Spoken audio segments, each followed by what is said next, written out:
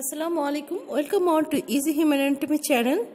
Today I'd like to discuss about histology of the osteocyte.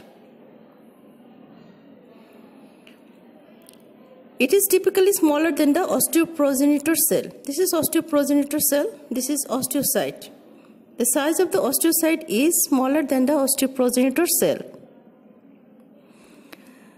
This is osteoblast this is nucleus of the osteoblast. This is cytoplasm of the osteoblast. The cytoplasm of the osteocyte is less basophilic than the osteoblast. See the cytoplasm of osteoblast and this is the cytoplasm of osteocyte. More, um, less basophilic.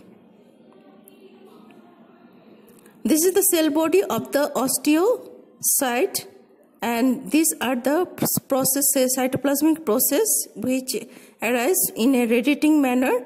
And uh, its number is per cell 50 processes average 50 processes.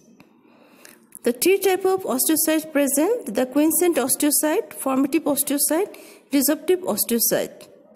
Histological feature of quiescent osteocyte they contain less amount of rough endoplasmic reticulum and Golgi complex and osmophilic lamina seen near the cell membrane.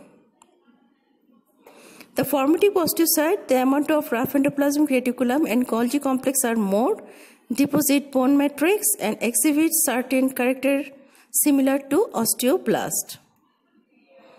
Resorptive osteocyte, the amount of rough endoplasmic reticulum and Golgi complex is abundant and lysosome um, are conspicuous and degradation of bones is occurred by resorptive osteocyte.